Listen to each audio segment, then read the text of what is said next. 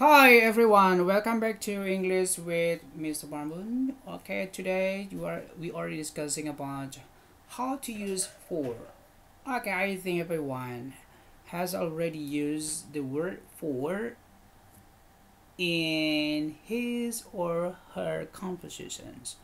But this video we want to make it sure that the for is properly used in a sentence. In English sentence. Oke. Okay. ya kali ini dalam video ini saya akan membahas mengenai bagaimana cara penggunaan for. Preposition for. Ya. For di sini bisa dikatakan untuk atau juga bisa bagi atau ya sebenarnya pengertian dari for ini banyak ya tetapi tergantung dari bagaimana sih kalimat itu harus dibuat uh, sehingga for ini memberikan makna tertentu di dalam kalimat itu. Oke, okay, so let's get started. Yes, used to show who is intended to have or something or where something is is intended to be put. Okay, let me repeat again. Used to show who is intended to have or use something or where something is intended to be put. Nah, di sini digunakan untuk menunjukkan siapakah yang dimaksud untuk menggunakan sesuatu atau benda yang dimaksud, kemudian uh, di mana ya kan sesuatu itu yang dimaksud untuk di letakkan. Nah, maksudnya begini nih. Kita uh, mau atau ingin sekali uh, melakukan sesuatu, contohnya meletakkan buku. Meletakkan buku ini untuk siapa kan gitu. Atau kita membuat makanan ini untuk apa?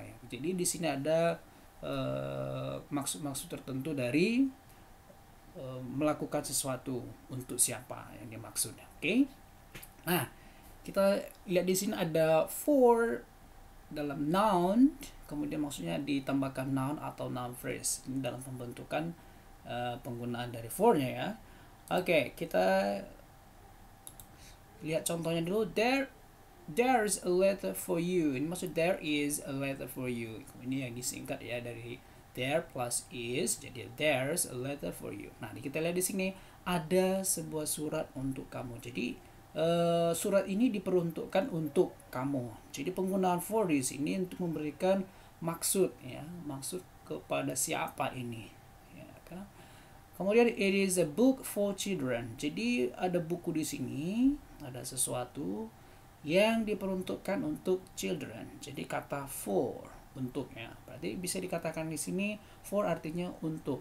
Tetapi dengan maksud bahwa uh, benda ini dimaksudkan untuk siapa ya.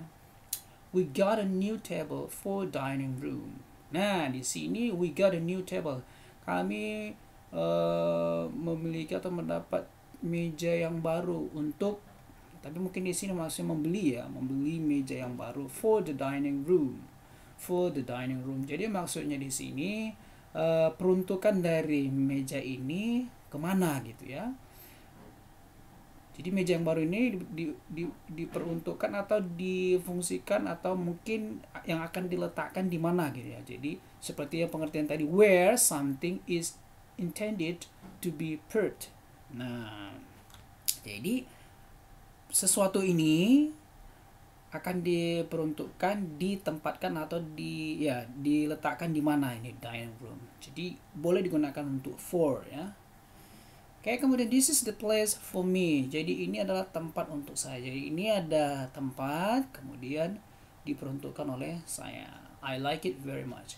Jadi penggunaan for yang pertama di sini, yang ini dia, uh, menunjukkan kepada siapa untuk dimaksudkan ke sesuatu apa. Ya. Kemudian uh, ada benda diperuntukkan untuk ditempatkan di mana kira-kira itu. Ini penggunaan dari for. Itu yang pertama. The second one is for plus pronoun. Ya, kebetulan di sini bisa saja nanti banyak nanti for plus pronoun, tetapi tujuannya apa gitu ya? In order to help somebody or something. Jadi di sini untuk menolong atau membantu seseorang atau sesuatu. Nah, jadi fungsi for kali ini uh, untuk membantu seseorang atau sesuatu. Kita lihat contohnya, what can I do for you? Nah, kita sering kali melihat kata uh, kalimat ini what can I do for you bentuk pertanyaan untuk um, menawarkan bantuan ya uh, oleh karena itu pengertian dari for di sini adalah untuk uh, menyampaikan atau atau menawarkan bantuan ya for di sini jadi kalau dikatakan artinya untuk kamu tidak cocok karena tidak lagi artinya untuk di sini ya for ya what can I do for you? Apa yang bisa saya lakukan untuk kamu? Artinya apa? Uh, berarti di sini maksudnya menolong kamu. Jadi uh, apa yang bisa saya tolong? Kira-kira gitu ya. Apa yang bisa saya bantu? Kira-kira gitu. Nah jadi fungsi dari for ini untuk menyatakan bantuan ya Okay, can you translate this letter for me? Can you translate this letter for me? Jadi for di sini artinya untuk saya berarti untuk menyatakan bahwa bantuan itu diarahkan kepada saya. Can you translate this letter? Can you translate? Bisakah kamu menerjemahkan surat ini untuk saya? Jadi for di sini difungsikan untuk menyatakan bantuan ya, mengarahkan bantuan ini kepada seseorang. Dalam hal ini dalam contoh ini adalah pada saya. I took her classes for her while she was sick. I took her classes. Jadi saya mengambil kelasnya. Mungkin ini uh, ya barangkali membantu ya. Membantu saya ini membantu dia itu pada saat dia sakit. Jadi tetap for di sini artinya maksudnya membantu kalau dibilang for her di sini I took her classes. Saya kalau kita buat artinya seperti ya uh, artinya se kita ambil artinya langsung dari maknanya coba. I took her classes. Saya mengambil kelasnya untuk saya untuk dia. Berarti saya mengambil untuk dia. Maksudnya apa kira-kira? Jadi artinya bukan mengarah untuk kepemilikan ya tetapi untuk mengatakan bantuan bahwa saya mengerjakan atau saya e, menggantikan kelasnya itu untuk membantu dia kira-kira demikian. Karena dia sakit pada saat itu kan gitu. Jadi tetap for ini artinya maksudnya bantuan. Soldiers fighting for their country. Jadi tugas dari soldiers ya tentara itu ya untuk membantu e, negaranya atau bangsanya. Oke. okay itu dia untuk for yang fungsinya membantu. Kemudian ada for plus gerund gerund ya sorry. For plus gerund atau noun phrase used to show purpose or function. Jadi digunakan untuk menyatakan tujuan atau fungsi. Let's go for a walk. Ayo kita pergi. For a walk di sini artinya jalan berarti pergi jalan-jalan. Perginya itu sebenarnya untuk apa? Jalan-jalan ya Are you learning English for pleasure or for your work? Apakah kamu belajar bahasa Inggris untuk kesenangan atau untuk pekerjaanmu? Jadi tujuannya apa? Jadi fungsi for di sini untuk menyatakan tujuan atau fungsi. Fungsi dari apa? Learning Englishnya. What did you do that for? Why did you do that? Maksudnya untuk apa? Tujuannya untuk apa? Tujuannya apa tujuan kamu melakukan itu? Kira-kira demikian ya kalau kita buat terjemahan yang baiknya. What did you do? What did you do that for? Apa tujuannya kamu melakukan itu? A machine for slicing bread. A machine for slicing bread. Jadi di sini ada sebuah mesin untuk slicing. Untuk apa namanya? Uh, ya yeah, mengiris ya mengiris atau mengiris motong-motong kue atau ya roti ya sorry ya roti ah nah itu dari fungsi dari mesinnya okay, next one the functions of for plus gerund atau noun phrase juga tapi to show a reason untuk menunjukkan alasan atau sebab.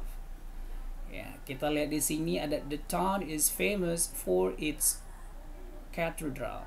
Jadi kota itu terkenal karena. Jadi artinya karena ya, bukan lagi uh, untuk tapi sih maksudnya tujuan. Makanya sih karena karena katedralnya ya, sistem katedralnya mungkin. Kemudian she gave me a watch for my birthday. Dia memberi saya uh, jam tangan karena ulang tahun saya atau untuk uh, dengan alasan uh, ulang tahun saya. Maksudnya ini sebenarnya diberikan jam tangan ini sebenarnya karena ada uh, karena ulang tahun dia kira-kira gitu. She got an uh, an word for bravery. She got an award for bravery. Jadi dia mendapatkan penghargaan karena bravery, karena keberan keberaniannya, kira-kira gitu. Ya, jadi sebabnya ya. I couldn't speak for loving. Saya tidak bisa berbicara karena sedang tertawa gitu ya. He didn't answer for fear or hurting her he didn't answer for fear of hurting her. Jadi di sini dia tidak menjawab karena takut menyakiti dia. Kira-kira gitu. Jadi ini artinya maksudnya uh, alasan ya. Oke, okay, next for plus noun.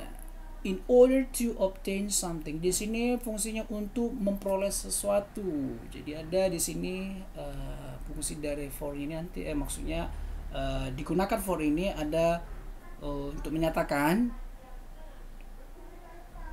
memperoleh sesuatu. For more information, call this number. Untuk informasi selanjutnya, silakan hubungi nomor ini.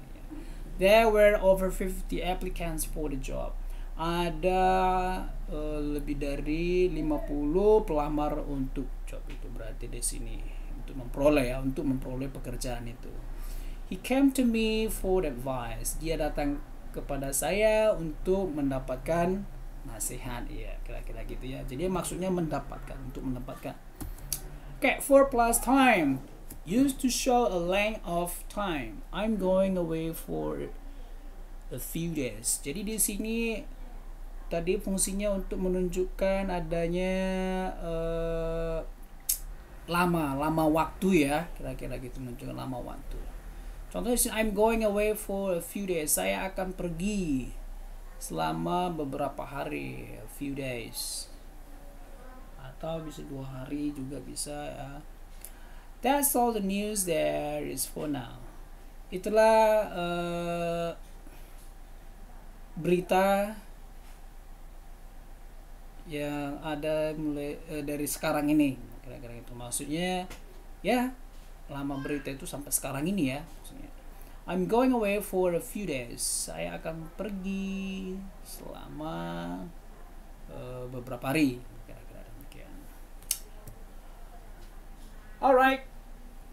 Kemudian ada four plus destination. Ini menunjukkan apa ini kira-kira uh, tujuan tapi mengarah ke tempat ya uh, tempat maksudnya ada lokasi ke mana tujuannya ya to, to show where somebody or something is going. Jadi maksudnya mengarahkan uh, lokasi atau tempat or address.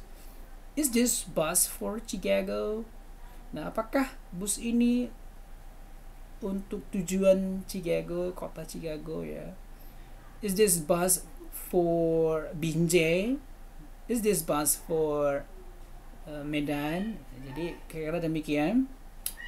Kemudian she knew she was destined destined for a great future. Yeah, she knew she was destined for a great future.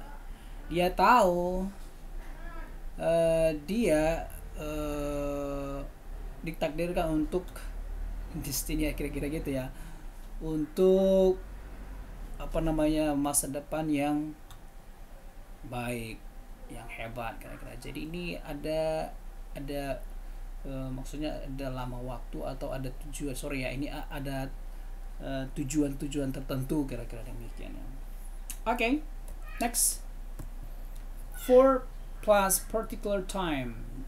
Used to show that something is arranged or in intended to happen at a particular time. Jadi di sini ada waktu tertentu ya. Jadi sebenarnya semua itu sudah tersusun ya, sudah tersusun kian. Maksudnya berarti sudah direncanakan sebelumnya. Tetapi ada waktu tertentunya. An appointment for May 12. Berarti uh, janji ini untuk tanggal 12 bulan Mei kira-kira. We are invited for 7.30. Jadi kami diundang untuk maksudnya untuk pukul 7.30. Jadi yang pukul 8 nanti ada gitu ya kira-kira. Jadi ada waktu-waktu tertentu. Jadi untuk menyatakan bahwa so something is arranged or intended to happen at a particular time. Jadi uh, sesuatu ataupun bisa katakan atau acara yang akan dimaksudkan uh, berlangsung itu di waktu yang tertentu. Oke. Okay? Used to show the occasions when something happens. Jadi untuk menunjukkan occasion ada suatu kesempatan ataupun uh, ya katakan ya, maksudnya di sini ada waktu-waktu di mana di masa waktu itu ada yang terjadi ya pada saat itu ya. Coba di sini kita lihat ya. I'm warning you for the last time. Saya mengingatkan kamu for the last time untuk yang terakhir kalinya stop talking nah, jadi sudah sebenarnya sudah diberikan kesempatan ya dari berkali-kali gitu dan mungkin yang kali ini ya stop talking kira-kira gitu jadi I'm warning you for the last time. Atau I'm warning you for the second time. Ya gitu dia. Jadi itu yang kedua kali. Seperti itu kira-kira. Jadi boleh kata menggunakan kata for. Kemudian for plus noun phrase in exchange for something. Nah di sini kita lihat sebenarnya ini uh, mengarah ke uh, apa ya? Nilai. Nilai ya nilai suatu benda itu diberi harga apa kira-kira demikian jadi gunakan for-nya seperti apa kita contohnya copies are available for two dollars each.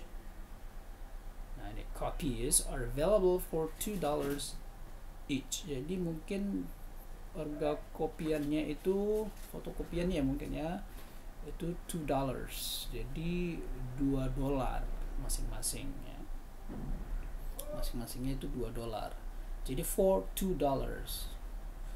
I'll swap these two bottles for that one. Saya akan Nah, ini swapnya nanti di sini dia two bottles for that one.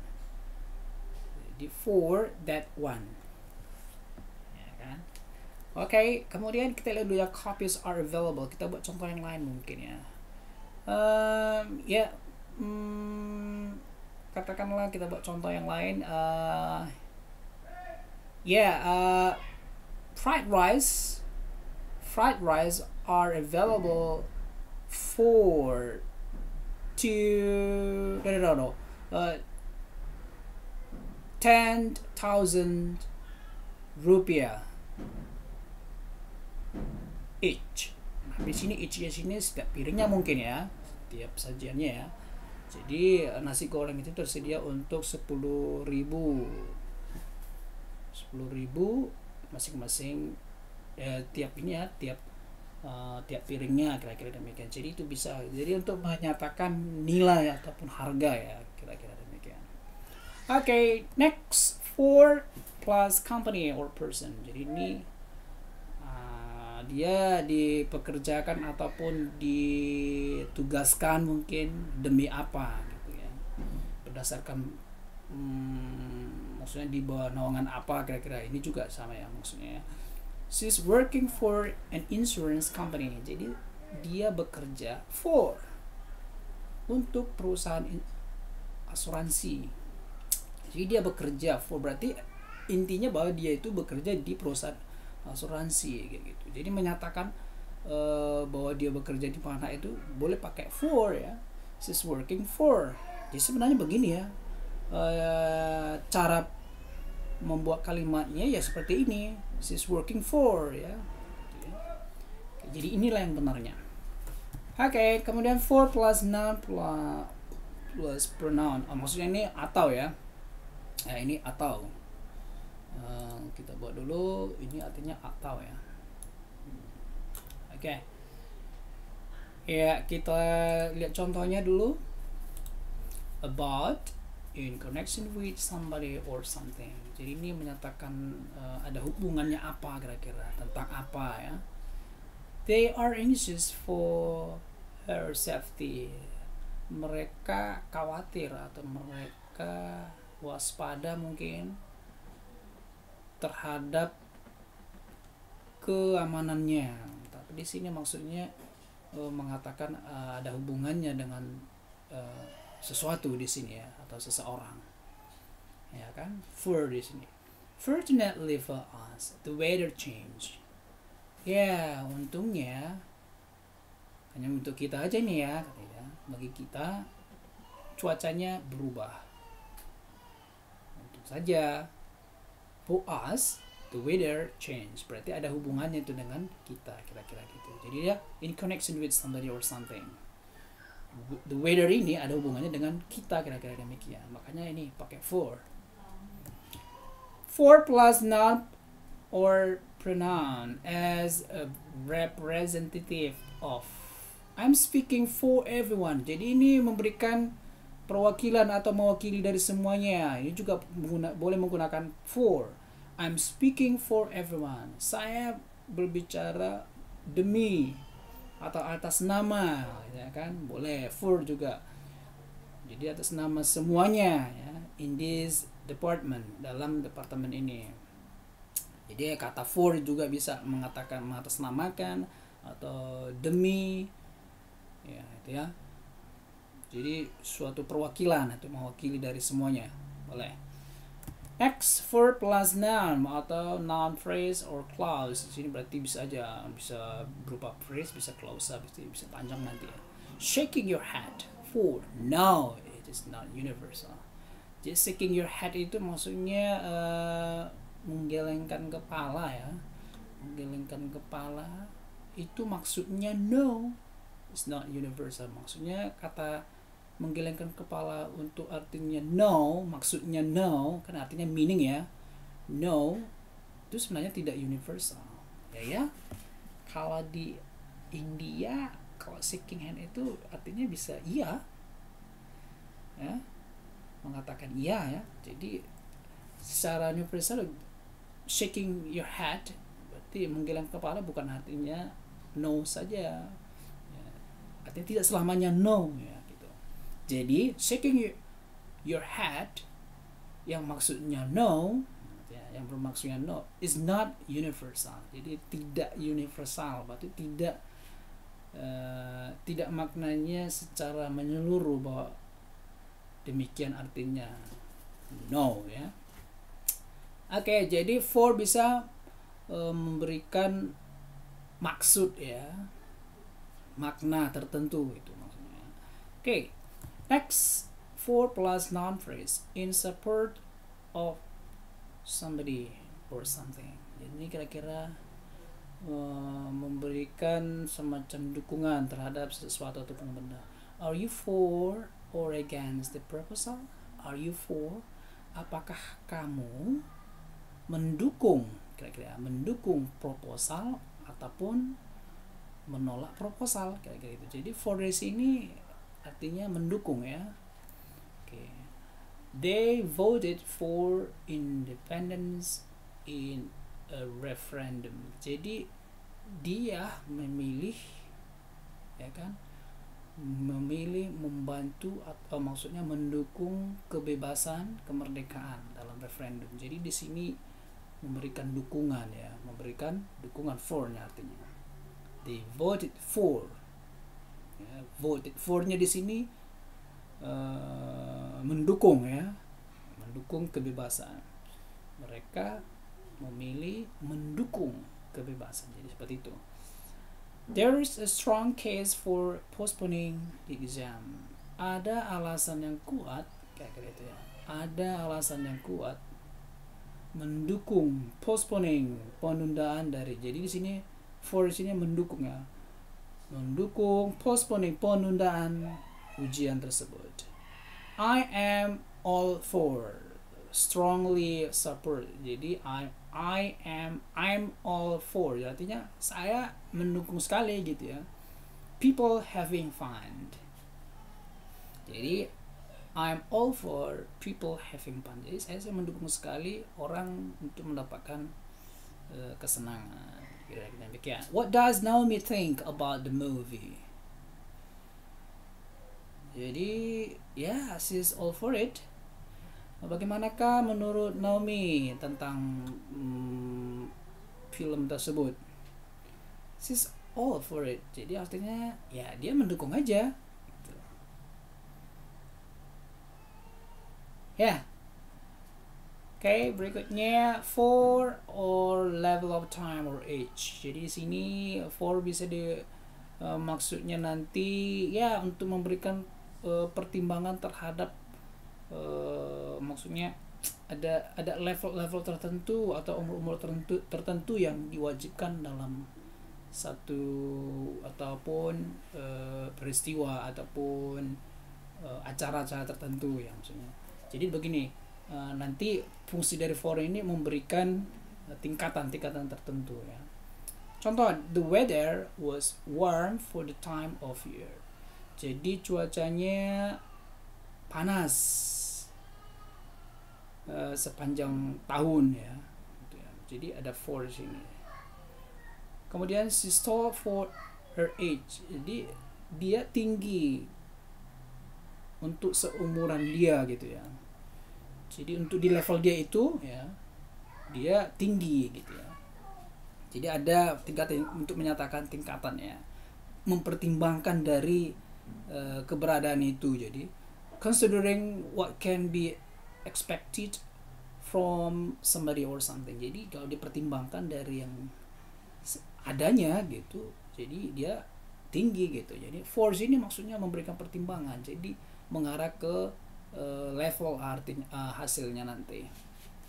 This is not bad for a beginner. Jadi dia tidaklah buruk atau dia lumayan lah untuk ya maksudnya ya untuk pemula ya kan itu jadi dipertimbangkan ya ya dia akan dan di itu lumayan ya maksudnya. That's too much responsibility for a, for a child. Jadi itu terlalu banyak tanggung jawabnya bagi seorang anak. Nah jadi kalau dipertimbangkan dari semuanya jadi for di sini memberikan uh, level itu terlalu banyak maksudnya terlalu banyak tanggung jawabnya untuk seorang anak. Jadi jadi fungsi for ini memberikan pertimbangan ya. Oke okay, next for plus pronoun used to say how difficult necessary pleasant or something is that somebody might do or has done jadi ini untuk mengatakan seberapa sulitnya gitu ya, seberapa pentingnya kah, seberapa senangnya kah, gitu ya. Is useless for us to continue. Jadi sia-sia bagi kita untuk melanjutkan. Jadi for us, perhatikan for us to continue. Jadi ada penggunaan dari setelah for nanti ada pronoun, kemudian ada to. There is no need for you to go. Jadi tidak perlu bagi kamu untuk pergi.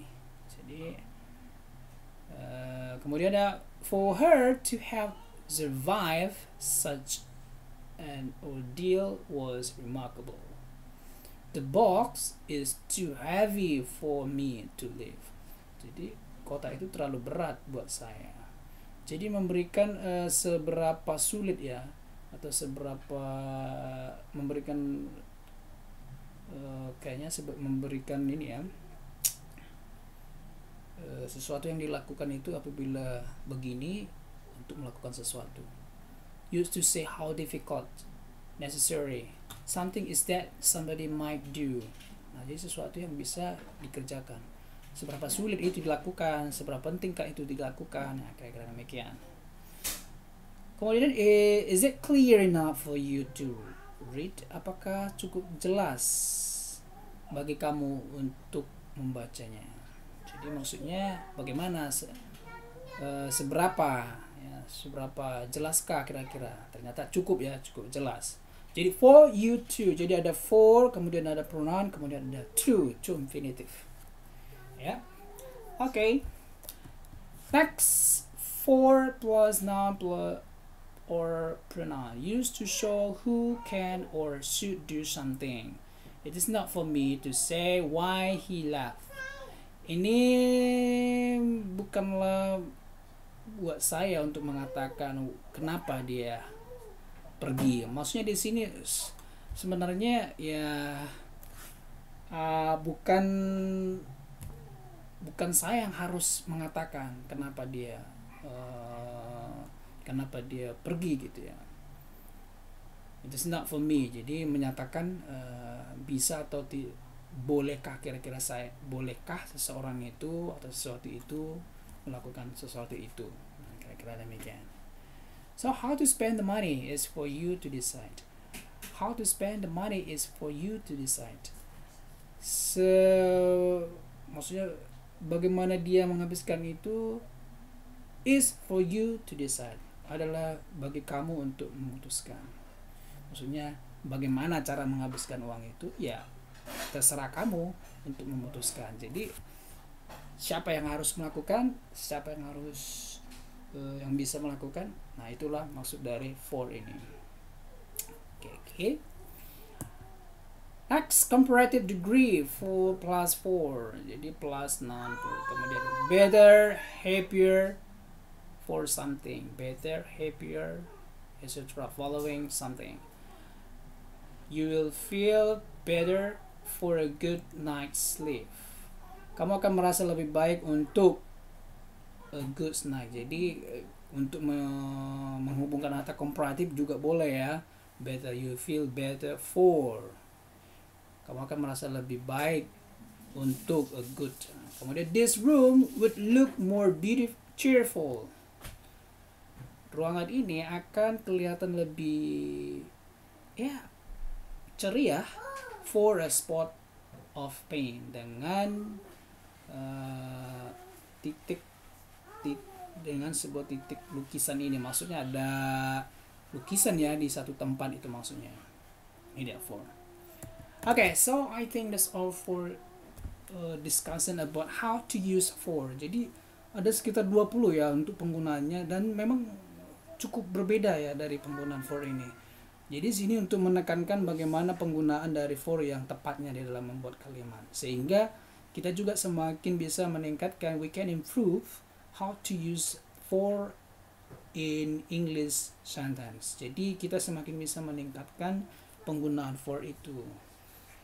Okay, so uh, I think that's all for today. Thank you very much.